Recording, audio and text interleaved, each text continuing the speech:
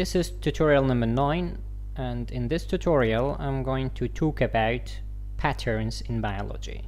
As you know, patterns are quite important in different aspects related to biological systems. And in bioinformatics, it's quite important to find different patterns, like different tandems, as I wrote here, recognition sequences for restriction enzymes, protein motifs, you may have different protein motifs that you want to find, different domains. Sometimes you need to differentiate mRNA sequences in a list of DNA sequences or RNA sequences and separate them, put them in a different file.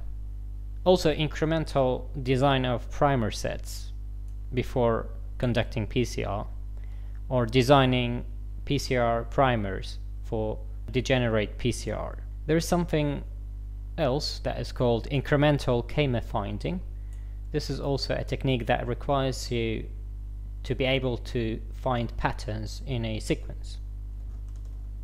So let's go ahead and try some techniques to find different patterns. Python has a library called re, which stands for regular expression, and you've got to import this one, this module.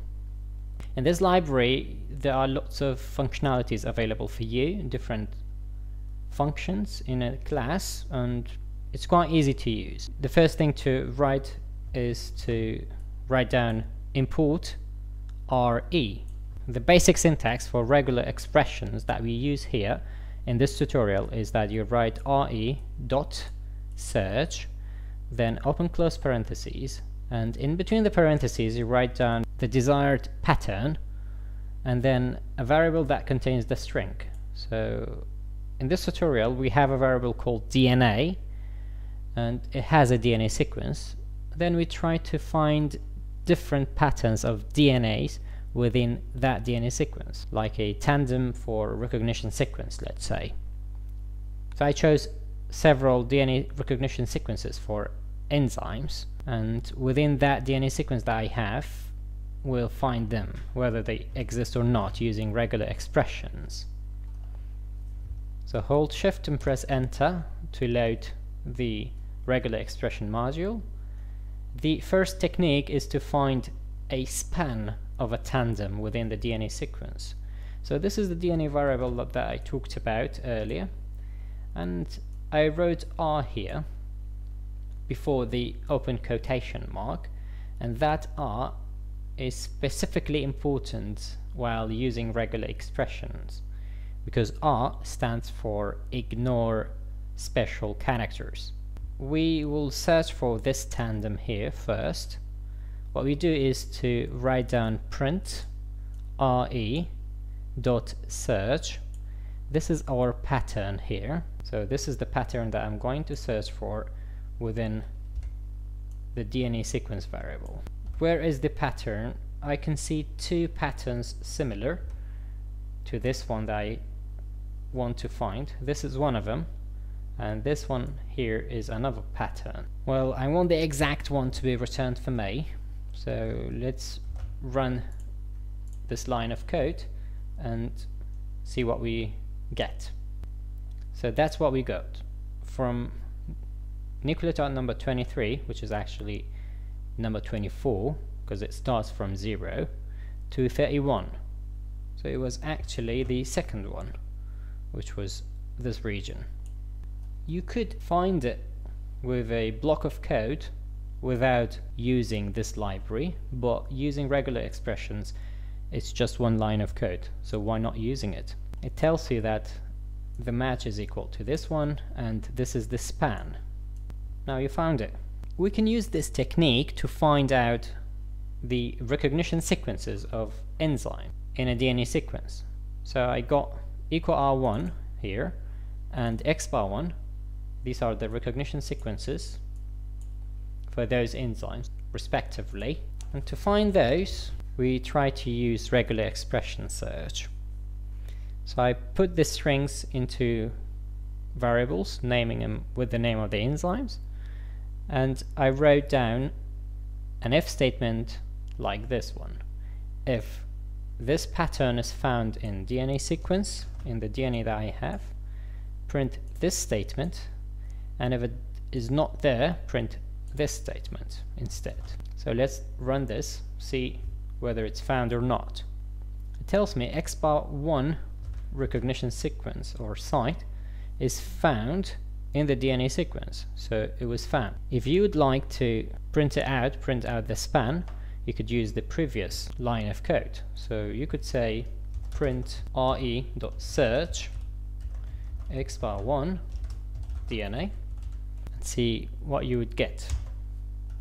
The span is from 34 to 40. So you can go back here and see from 34 to 40 it's from here TCTAGA so this is XbaI now what if the restriction enzyme has two recognition sequences? We can use a number of techniques to find out whether any one of them is found in the DNA sequence. One of those techniques that we can use is to use OR operator. So we could have a variable containing both of them and they are separated by OR operator.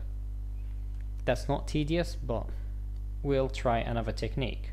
Another technique that we could use is to use pipe character. Pipe has the same meaning as OR character. So we'll use it like this. If you have a look, we write down if re.search, this is the pattern that we are going to search.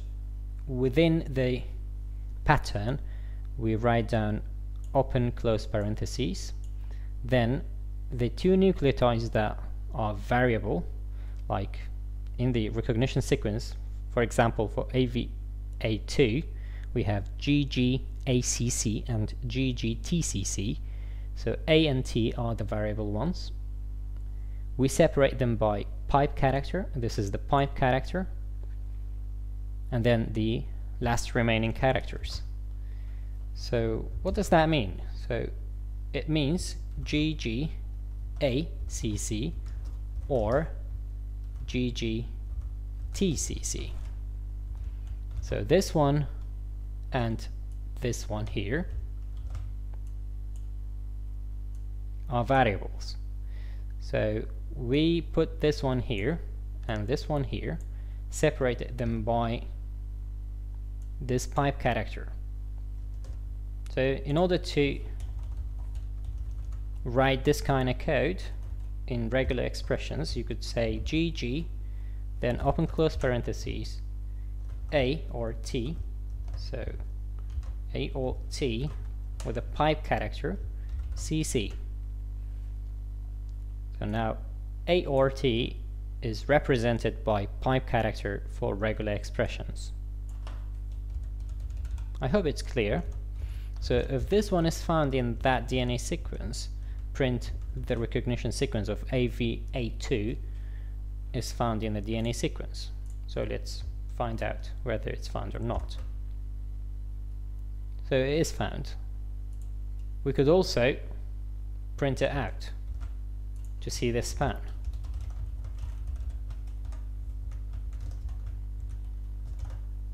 It's found in between nucleotide number 5 to nucleotide number 10 in the DNA sequence. You have GACC, so it could be GACC or GTCC. It writes it for you, it's GGACC. Next is how to deal with N-character recognition sequences. So what if your recognition sequence contains N, R, or Y characters? Sometimes you find these kind of weird characters in your DNA sequence and you don't know how to search for a given recognition sequence of a restriction enzyme in your DNA sequence. In order to find these kind of N characters, Python has these open close brackets and whatever nucleotide you put there becomes any like A, T, C, G are the variables that are given to you. Write it this way, it means any. This means any nucleotide. So instead of writing N, you write ATCG in between brackets, and that's it. It's important for you to notice that R means purine, which stands for adenine or guanine. we can represent this by using the pipe character which we used in the previous technique. Y stands for thymine and cytosine which is pyrimidine. Now we have a recognition sequence called MSPJ1 which has CNNR as the recognition sequence.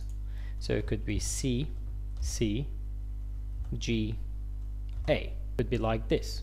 It could be CA, A for example, and G.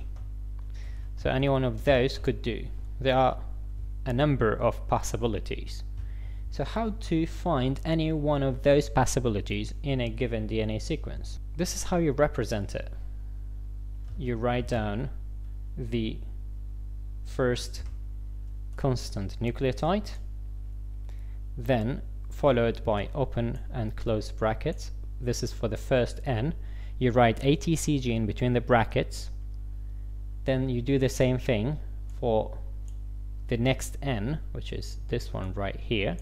And for the R, you write A and G separated by a pipe character, and that's it. So you have C, N, N, and R. So let's find out whether it is found and find the span of this recognition sequence within the DNA. So it tells you that the span is from nucleotide number 10, which is the 11th one, to 14, and the match is CT, CG. The C, the first C, is constant, while the second C is variable, and the last one, G, which is this one for the purine, is found as G within the DNA sequence. So it could be any other possibilities, but Python found it for you using regular expression. In the next tutorial I'm going to go through the process of searching for multiple N's, R's and Y's in a DNA sequence. So what if you have a tandem of N's and you search for a particular tandem in a DNA sequence? That would be the subject of the next tutorial. I hope you enjoyed this tutorial and thank you for joining me here.